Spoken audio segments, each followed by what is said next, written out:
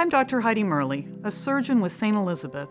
St. Elizabeth is fully open and safe, and we're right here for elective procedures, working hard to safely provide the wide range of advanced surgical options we're known for. Pre-op coronavirus testing, ample personal protective equipment, and intensive cleaning procedures in all facilities make it safe for you to come in for surgery. The St. Elizabeth team is right here to keep you safe so you can get the surgical care you need.